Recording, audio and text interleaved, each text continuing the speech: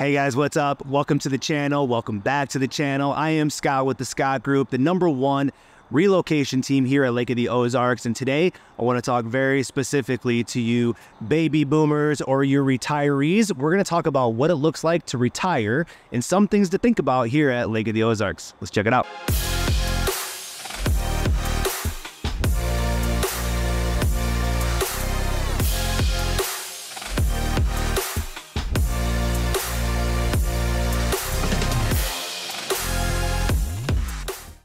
Hey guys, again, my name is Scott. In today's video, we're gonna talk very specifically about retirement options and what that looks like here at the lake. And I'd say probably 25% of the people we talk to are relocating their families, right? So we're we're packing up, we're moving down, we need to get into school districts, and we are going to live a lake life lifestyle. Another 25% are probably doing vacation properties, second properties, investment opportunities, right? Super cool, obviously, having those conversations. But about 50% of the people that we talk to are actually retiring or thinking about retiring at Lake of the Ozarks, right? So they put in your time, right? You've you've earned your money, You've raised your families, you've been in your homes for 15 or 20 years, and now you're thinking about selling those properties, cashing out, and looking to relocate in the Ozarks. So, we want to talk a little bit about what that looks like, give you food for thought, and put together some topics for you to think about. You know, I think one main topic to talk about is obviously just location. And if you're retiring and you're moving down to the Ozarks, where your property is in correlation to what's around you is going to be very important. There's something to be said about living, you know, a little bit further down the lake, a little bit more remote. But when it comes to going to the grocery store or the hardware store or retail stores or the doctors or the hospitals, right? It could be a little bit more of a drive than what you're used to right now. And if you live in a metropolitan city and you can hop in your car and go 10 minutes down the road and you're at whatever you need to be at, right? That's one thing. When you're in the Ozarks and you live down the waterways or off one of the fingers, or you're separated from maybe the Camdenton area or Osage Beach, it might take you a lot longer to get there. And so, food for thought, something to think about, right? Where are we going to retire and how convenient is that home to the amenities that we need? When we're thinking about your home, another topic to think about is the location of it, right? But ultimately, the steepness of your property. And what you'll realize if you haven't been here and you come down to visit is obviously the lake is uh, carved into this mountainous area. And so it's a flooded river, but all of the the the properties around the lake are hillside type properties. So if you come out to my home and you park up on top of the road and you have to walk down, it's a steep driveway. Okay, so something to think about if we're retiring or in our later years we got to be careful about the steepness of our driveway. And my, my parents came out to visit this last uh, summer for the first time, and God bless them. But my mom, right, she gets out of the car up top and she starts walking down the driveway. She almost trips, falls, stumbles down the driveway. She could have rolled right into the lake if we weren't paying attention. So, not to make light of the situation, but it is something to think about. And if you're looking for that flat lot that's easy to get around and maneuver, those are kind of unicorn properties a little bit too. They're very desirable. And so if that's something that we need, then that's something that we can find for you. But it is food for thought, right? Where is the property located around the amenities that we need?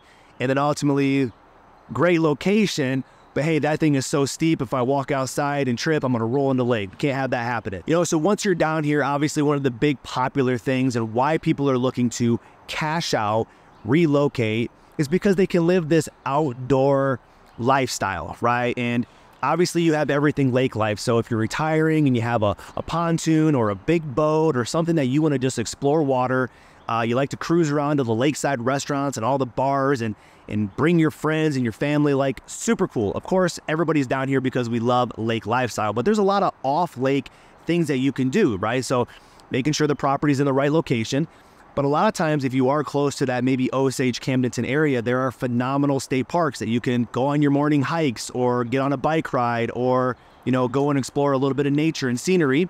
Uh, there's all your outdoor recreational activities. There's a huge golfing community down here. So if golf is a part of your world and you enjoy that, like getting up in the mornings, going to meeting your buddies or your golf partners, right? Getting in 9 or 18 and then heading back home, like there's a huge golf course community so you can stay active.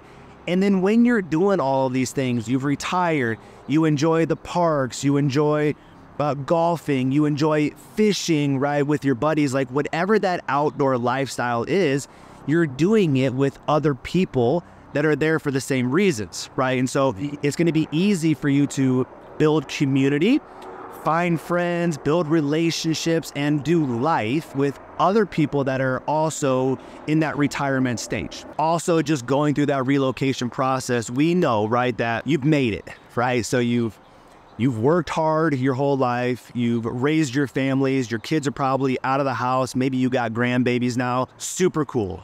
Super jealous, right? Because I'm trying to make it to where you are. But now that you've made it, we also still have to be financially sound. So a lot of people we talk to, you know, aren't working anymore, right? So we're living off of our social security, maybe our pensions, annuities, uh, our investments that we've made over our time. And so we have to manage to that budget. So a big reason why people like to move down here is the cost of living and the affordability of it. And we have some folks here in, you know, in Colorado, uh, some neighbors of mine, and we have some out in Wisconsin and some in California that have been in their homes for 15 or 20 years. They're sitting on a bunch of equity, and now they're able to sell that home, cash out, and buy a property down here in cash, right? So now you don't have a mortgage. Others might have a small mortgage. So if we are going to pull out a mortgage and finance part of the property, we just have to make sure that we get the best terms.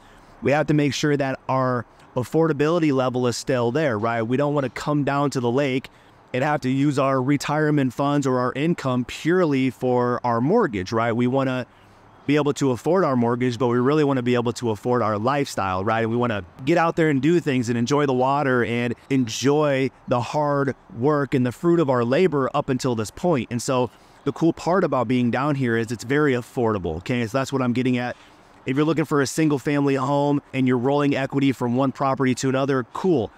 There's a lot of people that don't even want the single family home or the maintenance of the yard. So last topic is really just, you know, a condominium option. And, you know, a lot of folks are enjoying the condo option because you have lake life, you have probably a, a spot for your boat if you want, but you got a lot of amenities within that community as well, right? So the HOA fee is going to cover all of the maintenance and typically the exterior of the property, the grounds, but there'll probably be tennis court or a clubhouse or a pool or all these things that you can enjoy now that you're retired, but you don't have to have the maintenance or the upkeep of a property. And so, either way, good or bad, right? A lot of people talk about wanting their own space in single family homes. Others are like, looking, I'm done mowing yards, I'm done doing yard work. I just want to sit back, relax. And that's a great condo option too. So, I love these conversations and I love communicating, talking with you folks about it because where you are in your life is where I'm trying to get to. So I'm always just genuinely curious about how you did it,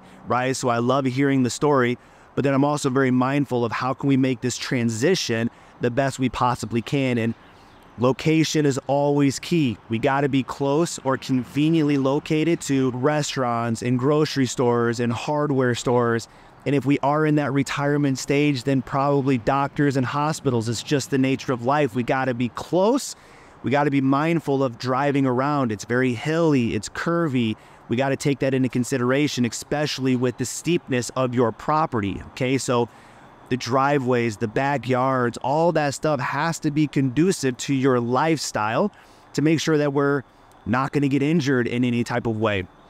And when we are here, we're able to go out and enjoy retirement life, right? And hit the parks and go for walks and get on the bikes or, you know, play tennis, go join the golfing community and build relationships through there. If you enjoy fishing, get out on the waterways and go fishing or jump on your pontoon and cruise around the lake or just hang out on the dock and float. But you're here because you want an active outdoor lifestyle. And then the last component is you want it to be affordable. So, hey, let's make sure we're doing it the right way. We're cashing out of our properties of 15 or 20 years. We're rolling equity into another property, hopefully paying it off free and clear. But if you have to do a mortgage, all good. We just want to make sure that we're managing to whatever type of income we have of social securities or pensions or you know stocks or annuities or whatever we're doing.